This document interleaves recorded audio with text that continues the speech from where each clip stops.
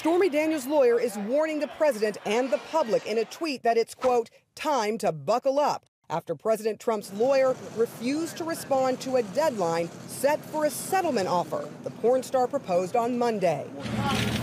Daniels said she'd pay back $130,000 in hush money Mr. Trump's lawyer paid to her to keep quiet about an alleged sexual affair she had with Donald Trump back in 2006. In exchange, Daniels' lawyer said she'd be free to talk, as well as to share text messages, photos, and videos she may have related to the president. Did you have a relationship Sources tell CNN confidants of the president are encouraging him not to respond or to fight Daniels' attempts to break the agreement for fear anything he says could make him look guilty.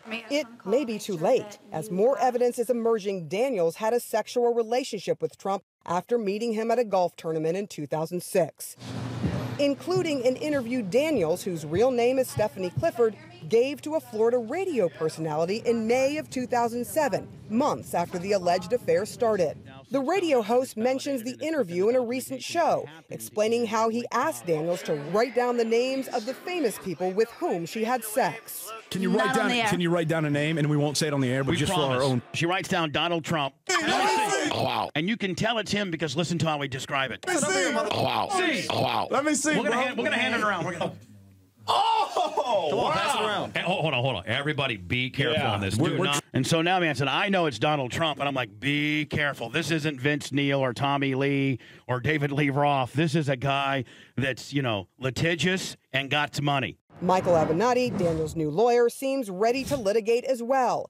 He has filed a request to change the judge overseeing the case and is continuing to blanket television with appearances goading the president. They can run, they can hide, but we're not going home, Don. I mean, sooner or later, the president is going to have to answer three very basic questions. The three questions he says they want answered Did the president know of the agreement when it was being negotiated just before the election? Something Trump's attorney has long said he did not.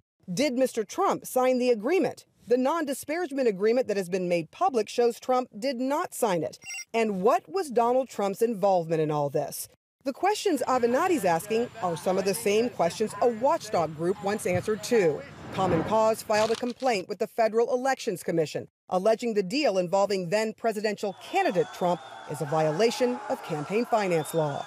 I don't think the FEC has any choice but to look into this matter to investigate and enforce here. This is really starting to shape up like a slam dunk violation of federal campaign finance law.